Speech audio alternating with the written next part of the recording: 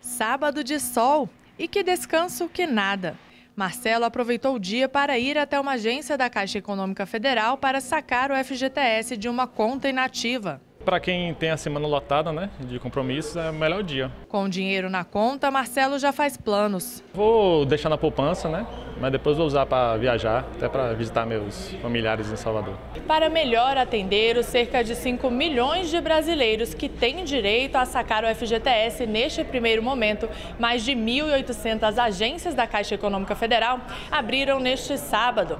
Além do saque do FGTS, os trabalhadores puderam tirar dúvidas, acertar o cadastro e emitir o cartão cidadão.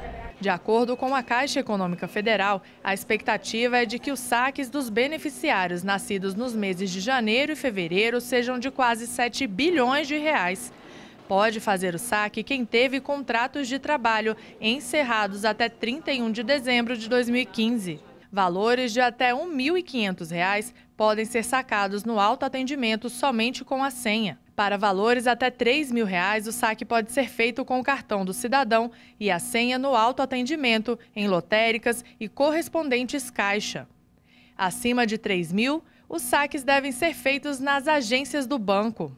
O saldo das contas inativas pode ser consultado por aplicativo, site da Caixa ou agências da instituição. A nossa recomendação, se dirija aos canais de atendimento eletrônico. Se não tiver possibilidade, obviamente, não tiver um telefone, não tiver é, acesso à internet, e a gente tem também o acesso pelo mobile, né? Se ele não tiver isso aí, aí, nesse caso ele tem que vir à agência. O significado desse trabalho para a Caixa e para os empregados é de grande orgulho. Os empregados estão muito é, orgulhosos de poder contribuir com essa injeção que vai haver de mais de 30 bilhões de reais na economia brasileira e a Caixa novamente cumprindo seu papel de principal operador, agente de políticas públicas do Brasil, do governo federal.